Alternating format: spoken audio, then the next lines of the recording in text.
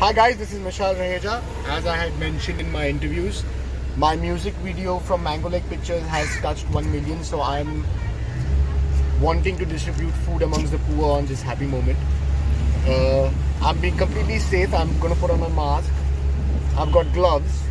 Here is the food. These are the these are the bottles of water, and we're gonna start now.